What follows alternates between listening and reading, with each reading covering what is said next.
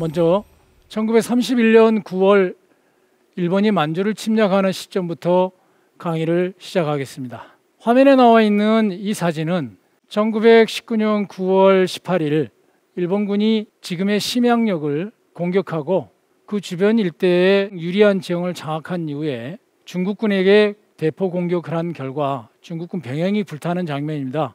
연기가 생각보다 많이 나죠. 저것이 바로 하얗고였습니다.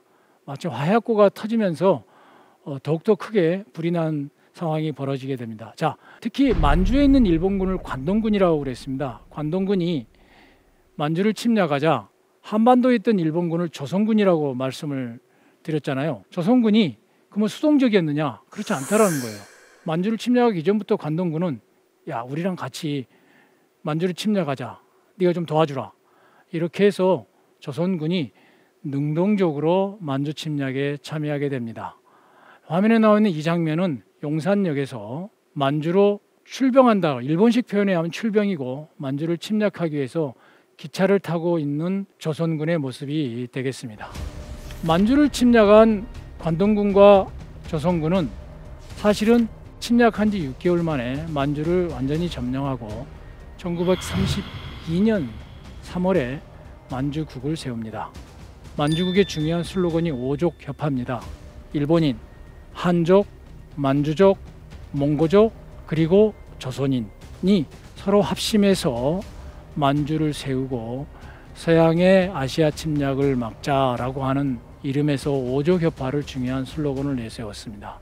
괴뢰국과 만주국에 대응해서 조선인과 중국인들 가운데 총을 들고 싸우는 사람들이 생기게 됩니다. 흔히 만주 지역 항일 무장 투쟁이 전개되는 것이죠.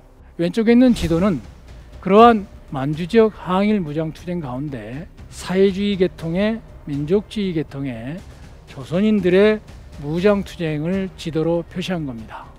자, 만주국을 둘러싸고 만주 지역에서의 경쟁 관계가 관동군, 만주국 대 항일 무장 투쟁 세력이라는 대립 관계가 형성되게 되는 것입니다. 만주를 둘러싼 이러한 투쟁의 과정에서 어, 물론 관동군과 그들이 지휘하는 만주 국군이 1930년대 후반이 되면 항일 무장 투쟁 세력을 진압하게 됩니다. 일본은 특히 조선군은 만주를 침략하는 과정에서 사망한 일본군에 대한 충원의 기념으로 기념하는 비를 지금의 용산기지에 세웠습니다. 화면에 있는 왼쪽 사진은 1935년에 조선군이 세운 충원비이고 그 충원비를 미군이 재건축해서 자기들 용도로 쓰는 순간이 있습니다. 1953년 재건축해서 미 8군 전몰자 기념비란 이름으로 동일한 장소에 매우 비슷한 디자인으로 이 공간에 추모 공간을 만듭니다. 아, 오른쪽에 있는 사진은 그러한 추모 공간에서 1964년 4월에 유엔군 사령관인 해밀턴 대장이 추모하고 있는 장면이 되겠습니다. 여러분, 여러분 같으면 어떤 심정이었겠습니까? 35년에 일본군이 만든 추모 공간과 추모비를 다시 미군이 53년부터 자신들의 군인들을 한국 전쟁 때 사망한 미 8군을 기념하는 추모 공간으로 활용하고 있는 것에 대해서 여러분의 시선은 어떻습니까?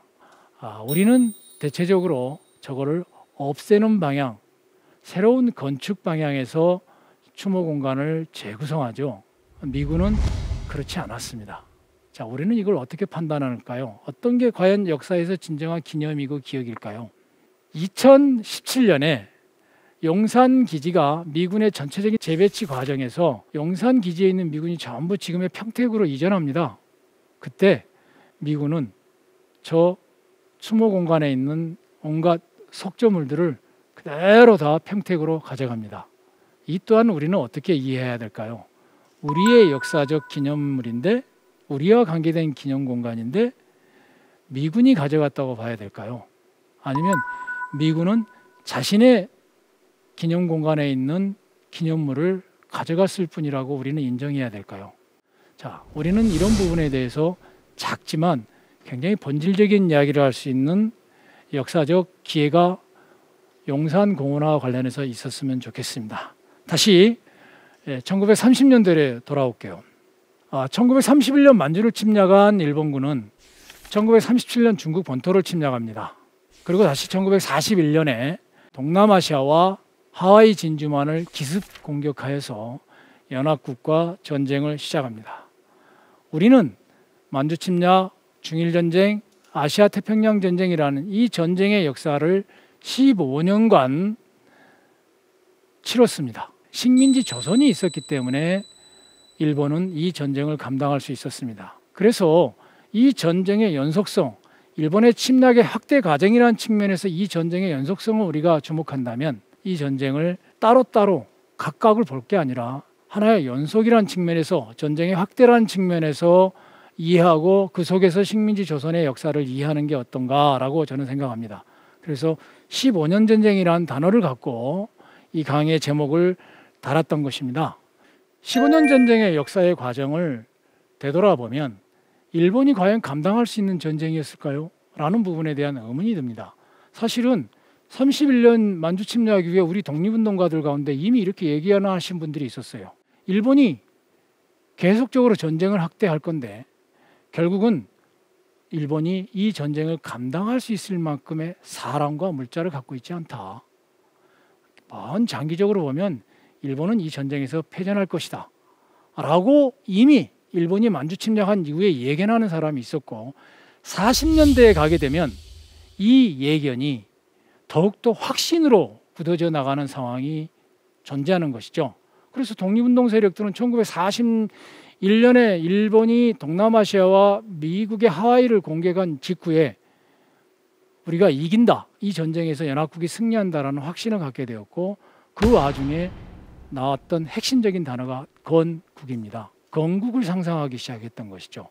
이러한 정도로 이 전쟁이 조선의 독립운동에 큰 영향을 미쳤지만 사실 조선에 사는 사람들에게는 괴로움의 연속이었고 전쟁이 확대될수록 그 괴로움, 그 부담이 더욱더 늘어나는 거였지 줄어들지는 않았던 거거든요.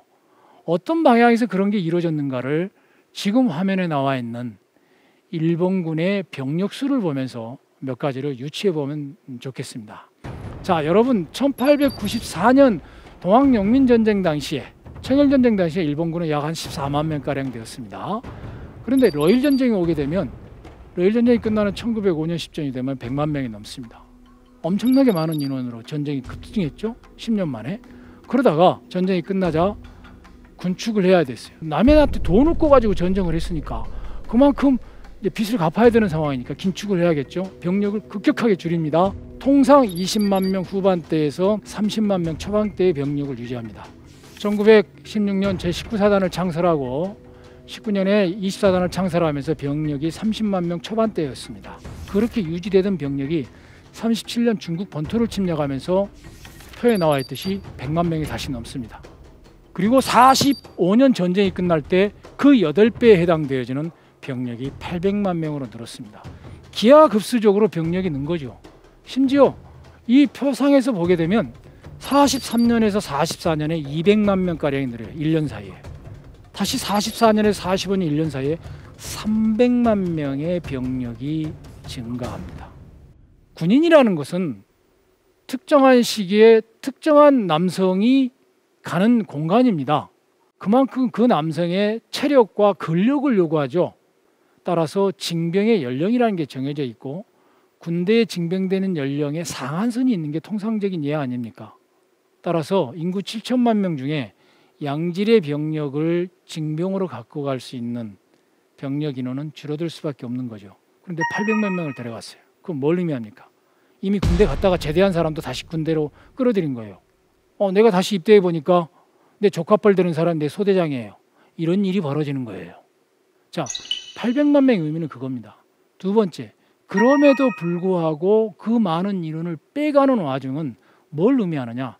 산업 현장에서 그 연령대의 남성들이 수행할 수밖에 없는 분야가 있을 거 아니에요. 예를 들면 탄광, 토목, 조선 이 노동력이 급격하게 줄어든다고 봐야겠죠. 자, 양질의 병력을 확보하는데 한계가 있을 수밖에 없고 양질의 노동력을 확보하는데 남성의 근력 노동만이 필요하는데 산업 분야에 공백이 생길 수밖에 없겠죠. 일본은 이걸 어떻게 메웠을까요? 라는 점입니다. 이 그래프, 이 도표 막대 그래프 상에 여러분이 보시기에 군사비가 차지하는 비중을 보세요. 그렇게 많은 인원이 부족해지는 현상과 더불어서 군사 예산이 일본 정부의 1년 예산에서 차지하는 비중이 전쟁 막판에 가서 거의 80%에 육박할 정도였습니다. 1937년에 중일 전쟁이 일어나면서 전체 예산에서 30%를 넘더니 줄어들지 않아요. 계속 늘어나서 마지막에 80%였어요. 이거는 경제가 정상적으로 가동되지 않는다는 뜻이에요. 지극히 군사 경제만이 가동된다라는 거죠. 사람들이 그만큼 먹고 살기에 팍팍해지는 순간이 온다라는 뜻을 의미합니다. 자, 이런 상황에서 전쟁을 계속 해야 된다면 사람들에게 충성을 요구하고 그냥 요구 야 너 해라고 수준이 아니라 내가 스스로 나서는 방향으로 가야 될 거 아닙니까?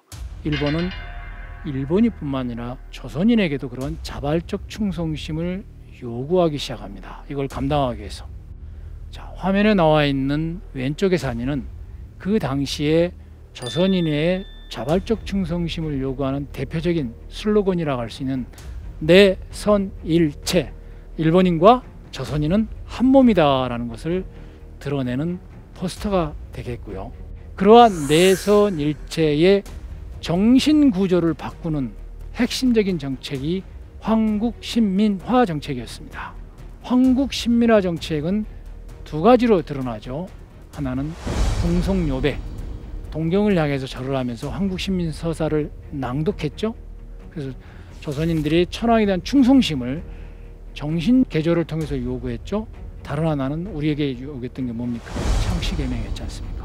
이러한 한국 시민으로서의 태도를 요구하는 상징이 바로 이 당시 경성에 있었던 황궁시민 서사탑이 되겠습니다. 물론 이 서사탑은 1947년에 해방이 된 이후에 47년에 해체됩니다.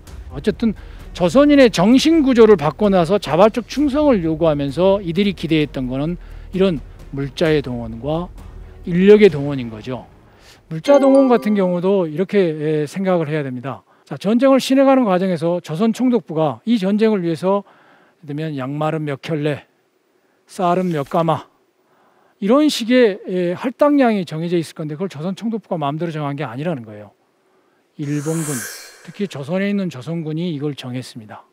조선에 있는 조선군이 얼마 얼마 얼마 앞으로 얼마 얼마 얼마 정도의 물자가 필요할 것 같다라고 하는 게 군수 동원 협의라는 걸 통해서 이 물자를 정하면 그거를 조선 총독부가 받아가지고 각 지역의 행정관서에 연락을 해서 그걸 충당하는 방식이었죠.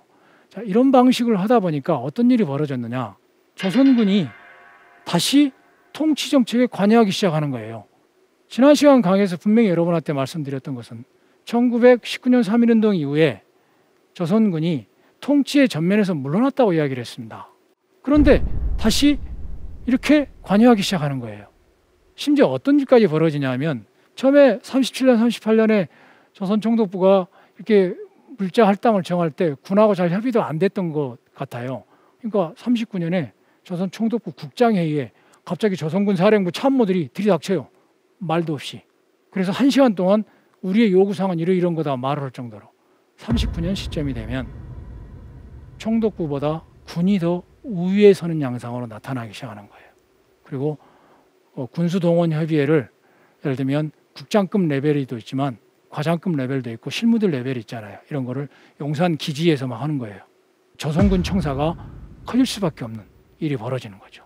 이런 식으로 물자를 할당하는 것을 하면서 일반인들에게 물자를 막 가져가는 것은 내놔 이렇게 강제로 뺏어갈 수 없잖아요. 그 사람들에게 물자를 이른바 헌납, 기부, 납부하는 것에 대한 당위성을 확보해야 되는 거 아닙니까? 그래서 이것을 선전하는 활동을 조선 총독뿐만 하는 게 아니라 조선군도 합니다. 조선군이 하는 방식은 뭐냐? 신문반이라든지 자원반을 만들어서 선전 활동을 매우 강화를 해요. 애국부란 이름으로 또 강화합니다. 그리고 강화하는 방식을 어떤 방식으로 강화하느냐? 신문에 글을 쓰고 영화를 상영하고 영화를 직접 제작하는 데도 도와줘요. 예를 들면 뭐 용산 기지에서 군 관련 영화를 홍보하고 군 관련 영화라 영화 내용의 일부가 들어가야 되면 군을 동원해서 직접 영화 촬영을 도와줍니다. 이런 식으로 해서 선전 활동을 매우 강화합니다. 동원의 당위성을 하는 과정에 조선군이 매우 능동적으로 역할을 한다. 아, 심지어 1919년 예, 이전에는 1919년 이전에는 조선 총독부 안에 예, 내각 그 총독부 관방이 있었습니다. 총독을 보좌하는 부서 안에 별 하나짜리의 장군이 무관 비서관 역할을 한 사람이 있었어요. 근데 20년대는 그게 사라져 버렸어요. 통치 전면에 나서지 않게 되면서 그러다가 37년 중일 전쟁 이후에는 이걸 다시 복구합니다. 그래서 중자 한국 같으면 중령급에 해당되어지는 사람 내지는 대자 대령급에 해당되어지는 사람이 조선 총독부 내지는 조선 총독과 조선 군사령부 내지는 조선 군 사령관을 연결시켜주는 역할을 하는 거죠. 점차적으로 지위가 올라가면서 그런 연결고리를 강화하고 정책적 협력 관계, 협조 관계를 강화하는 방향으로 동원 정책을 추진하는 과정에서 조선 군이 통치의 전면에 나서게 되고 조선 총독부보다 조선군의 발언권이 세져 나가는 과정이 존재를 했다. 이러한 과정의 또 다른 표현이 바로 인력 동원이 되겠습니다. 그 인력 동원의 핵심이 바로 병력 동원이 되겠습니다. 인력의 동원의 핵심은 두 가지였죠.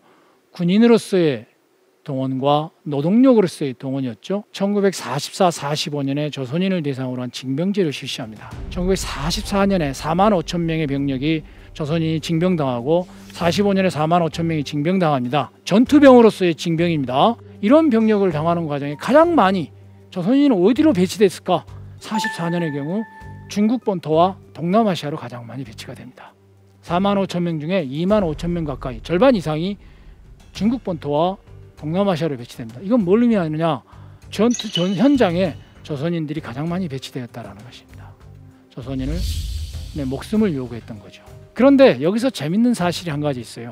영국은 인도를 통치할 때 인도인만의 부대를 만들었습니다. 그런데 일본은 조선인만의 전투 부대를 만들지 않았어요. 철저하게 중대 단위에서 조선인을 흩어놨어요. 조선이 모이지 못하도록.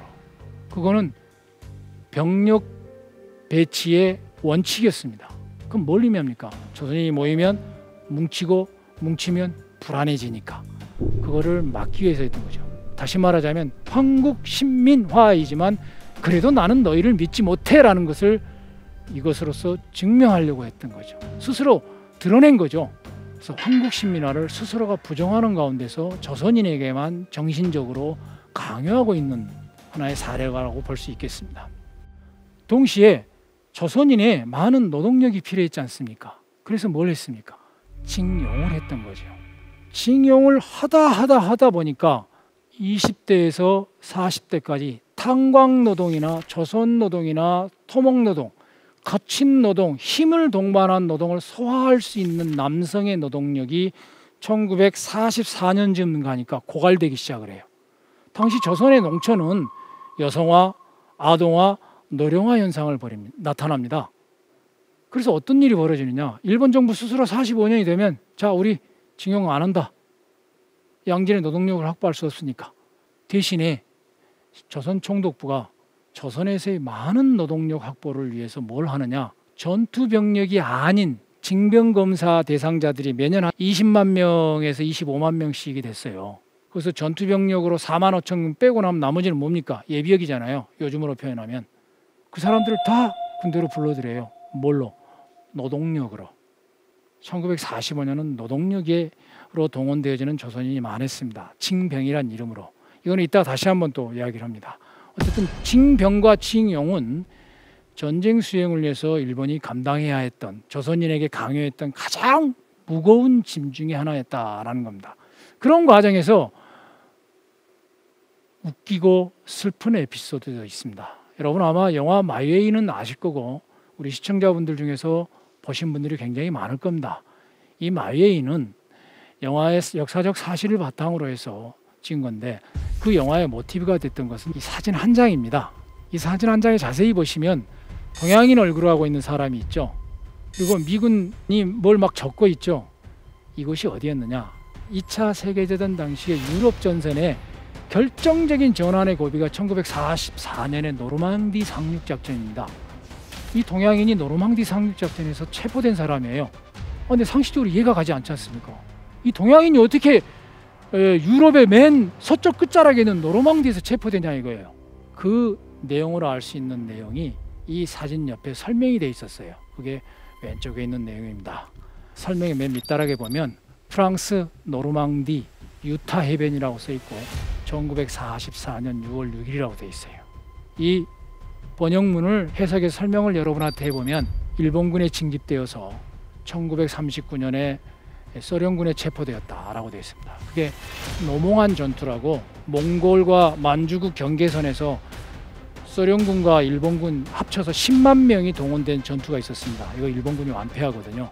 이때 체포된 거예요. 이 사람이 노망한 전투에 체포되었다가 소련군에 입대를 했는데 1941년에 독소 전쟁이 일어나니까 이 입대한 사람이 독일군의 포로가 된 거예요.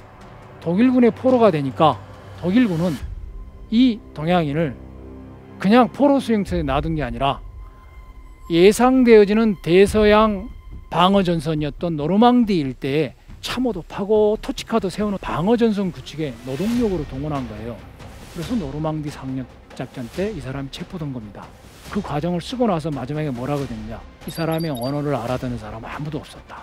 나중에 확인하니 이 사람은 한국인이었다. 그리고 우리 군인들에게 자신의 구구한 인생에 대해서 설명을 했다라고 되어 있습니다. 이 사진에 나와 있는 동양인은 한국인이에요. 국가가 없는 사람의 인생이 어떻게 바뀌어 나가는가를 알 수 있습니다. 이 사람은 1938년에 육군 특별 지원병 제도가 실시되었습니다. 38년부터 일본이 징병을 실시하기 전에 테스트라는 기간이 있었어요. 그때 특별 지원병으로 입대를 했던 사람입니다.